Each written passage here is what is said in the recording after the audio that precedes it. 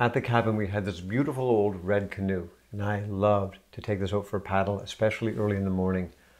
Uh, what is special about a canoe is that it's very flat and you can travel very close to the shore. You can go up all these little streams and go to places where you can't go in other boats. And especially you take one paddle, let the boat float, and all the animals would come out because you're silent, you're not moving, and you would just see beautiful, beautiful things. And uh, so I wrote a song about it, The Red Canoe.